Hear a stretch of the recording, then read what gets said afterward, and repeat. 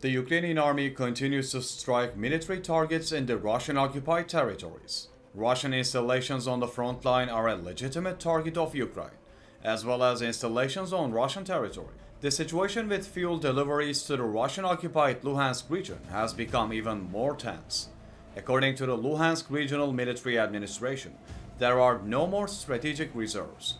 Two fires at oil depots in Luhansk and Rovenky have left the Russians in a desperate situation. Russian fuel supplies in the Luhansk region have not stopped completely. However, the supply rate after the attacks also does not completely cover the current Russian needs, and there are no more strategic reserves. The Ukrainian armed forces continue to hit military targets in the occupied Luhansk region with long-range missiles and drones. On 10th of May, an oil depot in the town of Rovenky was hit, causing a major fire.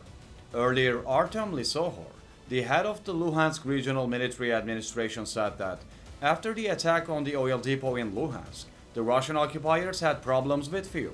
The Ukrainian army is implementing the right strategy. Ukraine continues to strike fuel facilities both on Russian territory and on the front line. What do you think about Ukraine's offensive strategy?